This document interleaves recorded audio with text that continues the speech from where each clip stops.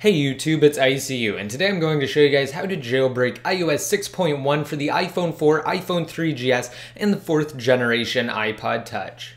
And of course, Apple just released 6.1 to the public, and the evad3rs, the new team on the jailbreak scene, are preparing to release an untethered jailbreak for all iOS based devices on 6.1.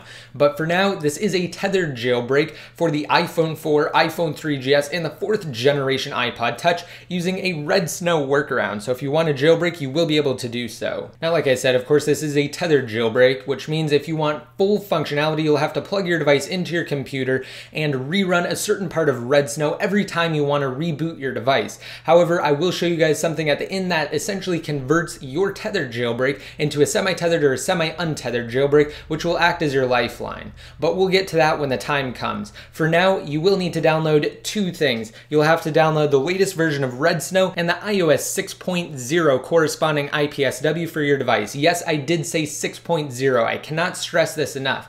Because Redsn0w hasn't been upgraded to include official support for 6.1, we will will have to employ a workaround and essentially trick it into thinking you're on 6.0 when in reality you're actually on 6.1. And I will have a link to a post on my website down below in the more info, and that post contains Redsn0w download links for OS X and Windows based computers alike, and also the iOS 6 IPSWs. Alright, now that I've got that out of the way, I just wanted to show you guys that I am indeed on 6.1. As you can see down below here for the version, it does say 6.1, and this is indeed an iPhone 4. Alright, so let's go ahead and get into this jailbreak tutorial. What we're going to do first is open up Redsn0w, and if you're on OS X, simply hold down Control and click on Redsn0w, or right-click Redsn0w and click Open. And once you open up Redsn0w, you should get a screen that looks like this, and now you can go ahead and go inside of Extras, and then what we're going to do is select that iOS 6 IPSW I told you guys to download.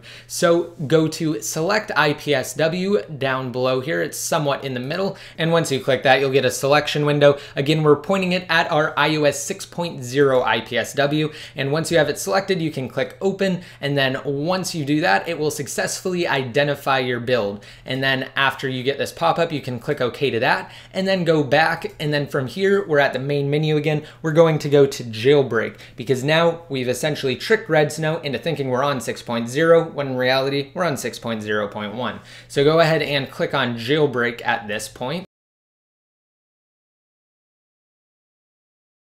And now from here, what we're going to do is simply select install Cydia and check the other options you want. However, do not check install custom bundle. All right, now that we're ready to go, I'm simply going to click next. And then here it says to make sure that your device is both plugged in and powered off. However, we're going to enter DFU mode ahead of time. It's very simple to do. Just plug in your device and then hold down the home and power button together for a total of 10 seconds.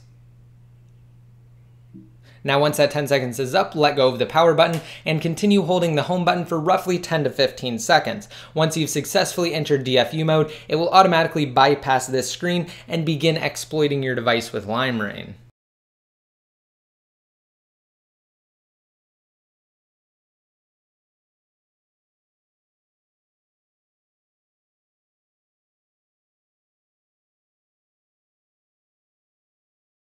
Right now it's just downloading the jailbreak data and now it says that this is a tethered jailbreak and it's done and it essentially explains what a tethered jailbreak means. Again, I'll go more into depth on that more toward the end of this video. Now just be sure to let it do its thing. I'm just going to leave it on screen here and I'm just going to show you guys exactly how long it'll take. I'm not going to cut anything out of this video. Again, I'm just going to let the jailbreak process play through on the iPhone 4 here.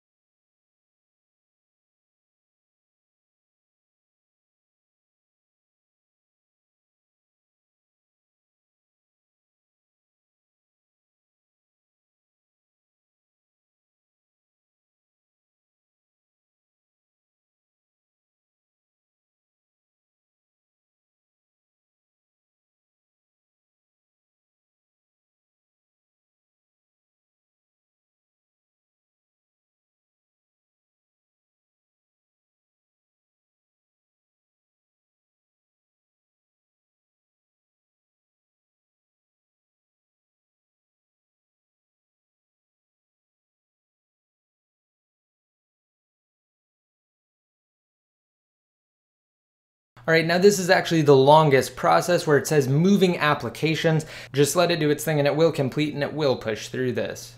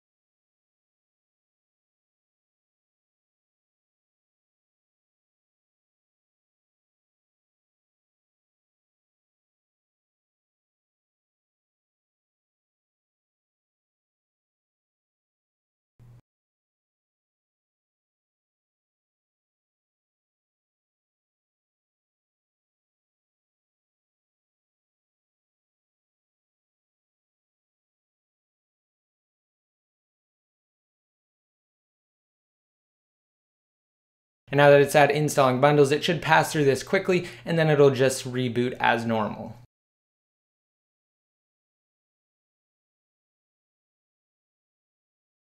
All right, now just wait for your device to reboot.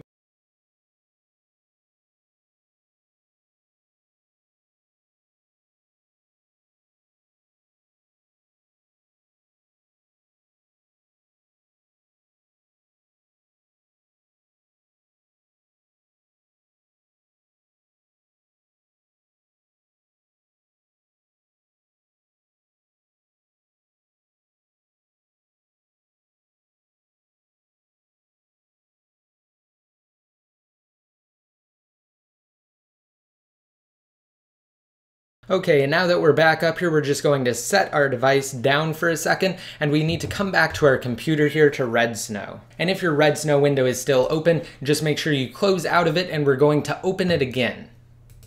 Now this will just ensure that we don't encounter any errors and it will essentially just refresh everything. So once it's opened, what you need to do again is go down to extras and then go to select IPSW and we're going to browse for our iOS 6.0 IPSW again. Now, like I said in the beginning, this is a tethered jailbreak. So what we actually have to do is reboot it tethered right now. And then from there, we will be able to install the semi-tethered or semi-untethered jailbreak on top of that through Cydia. So once you get this message saying that it's successfully identified, you can click OK, and then we're going to do the top option now, which is just boot. And then from here, again, it's giving you that same message, essentially telling you to both plug in and power off your device, and then it will tell you how to enter DFU mode. However, I'm going to show you guys ahead of time, and I found that this typically works best. So just make sure that your device is plugged into your computer, and then hold down the home and power button together for a total of 10 seconds. Once that 10 seconds is up, you can go ahead and let go of the power button and continue holding the home button for roughly 10 to 15 seconds. Now, once you're successfully in DFU mode, it will automatically bypass this screen and it will just continue through patching your device. As you can see, it's exploiting it with limera1n right now, and it's just going through the process.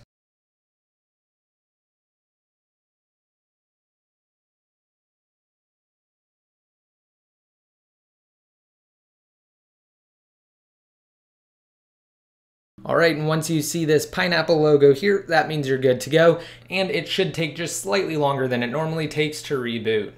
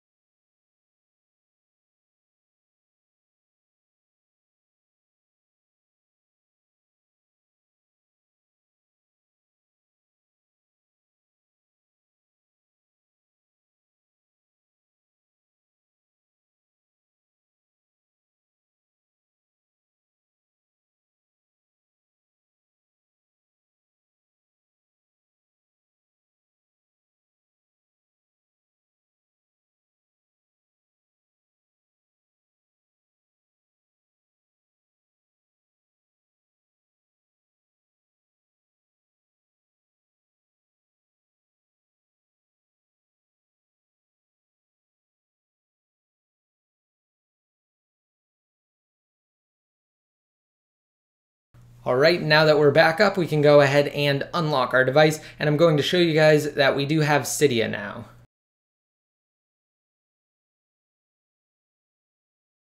All right, so scrolling over, it should take just a second and Cydia will appear. As you can see, we now have Cydia and I'm going to open it up and we're going to go ahead and go through the process to install the semi-tethered or the semi-untethered jailbreak. So right here, I'm just going to select user and then done. And then I'm just going to cancel the refresh and we're going to have to add a source. So go down to the bottom where it says manage, and then we're going to go to sources, edit, add, and you're going to add this repo. It's just thebigboss.org forward slash semi S E M I tether T T H R. And once you have that typed, you can go ahead and tap on Add Source. And now it will just go through and update the sources.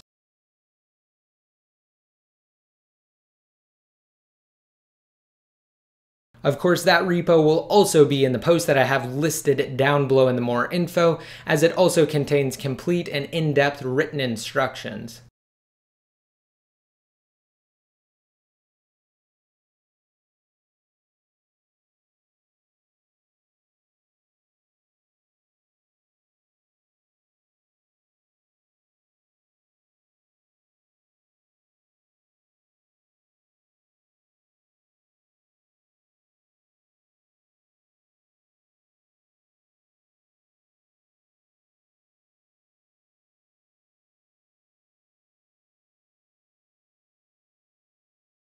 All right, and again, we're just waiting on this. It can take some time to complete.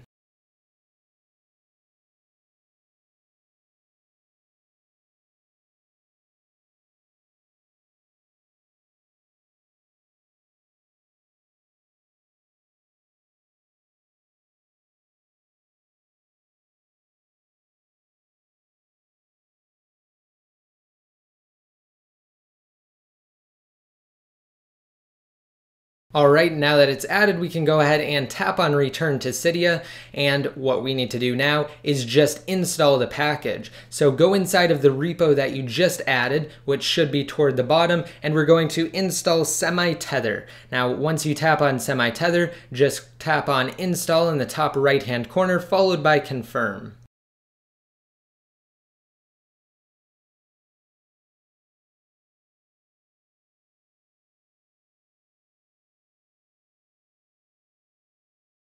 And now once it's done, all you have to do is just restart your springboard. And once this completes, I'm going to unplug the iPhone 4 and reboot it and show you guys that it can boot back up without the assistance of a computer. However, certain applications will not be functional and I'll show you what I mean. So let me go ahead and unplug it right now and I'm going to power it off and then turn it back on and show you that it will still reboot successfully with that semi-tether package installed. So now let me go ahead and turn turn it back on.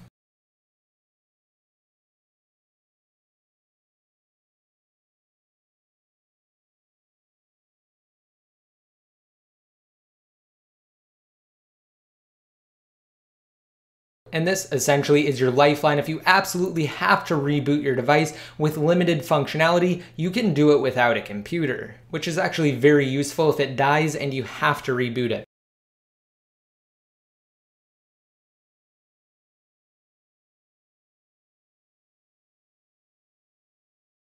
So as you can see, we're back up now and I'm going to go ahead and slide to unlock.